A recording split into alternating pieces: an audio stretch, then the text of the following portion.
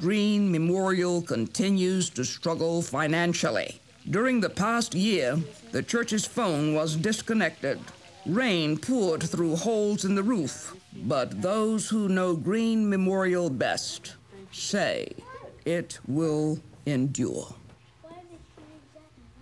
The struggles financially, we're having a real hard time now because of uh, the smallness of the group, but uh, we'll survive. We've come through harder times than this.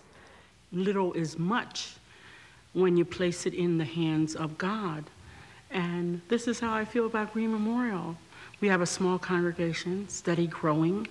We have people who come from all walks of life, but mostly from the meager walk of life, living from paycheck to paycheck, working, struggling. And um, I believe this is that type of church. Have you any rivers that to you seem uncrossable? Green Memorial Church really was the beginning of my personal spiritual journey.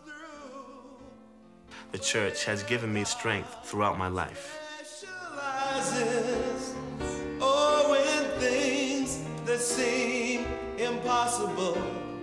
It's uplifting, and it's like my other family, and everybody meets there.